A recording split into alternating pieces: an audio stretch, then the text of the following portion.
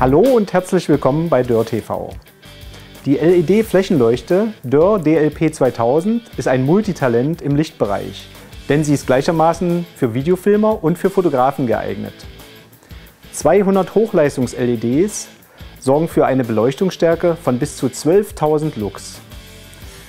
Und diese Lichtleistung ist stufenlos dimmbar, kann so jeder Situation angepasst werden. Die Farbtemperatur lässt sich von 3000 bis 7000 Kelvin einstellen. Dadurch kann die Farbtemperatur der LED-Leuchte der Umgebungsbeleuchtung angepasst werden. Farbstiche durch Mischlicht können dadurch vermieden werden. Das wird auf der Rückseite des Displays angezeigt. Mit den Abschirmklappen lässt sich der Lichtstrom reduzieren. Die mitgelieferte Diffusorscheibe macht das Licht weicher, was besonders bei Porträts interessant ist. Mit dem Orangefilter kann ich die Farbtemperatur nochmals reduzieren. Die Lampe lässt sich auf der Halterung schwenken und drehen.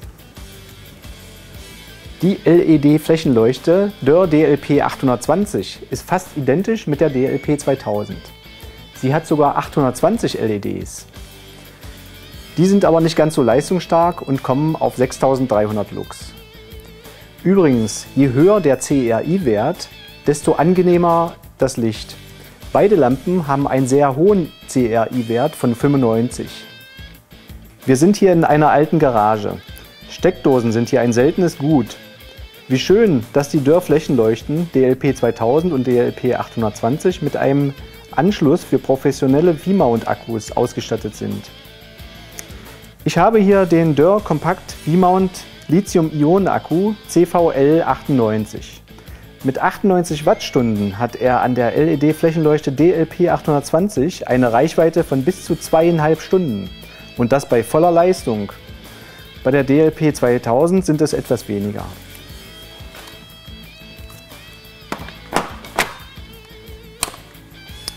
Die Ladezeit liegt mit dem optionalen Ladeteil bei 4 Stunden.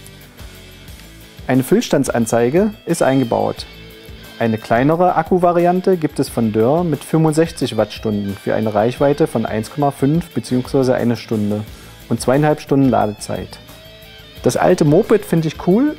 Ich werde ein paar Aufnahmen davon machen und mit ein paar Bildergebnissen verabschiede ich mich. Weiteres Foto- und Videozubehör gibt es auf www.dörrfoto.de. Auf Wiedersehen.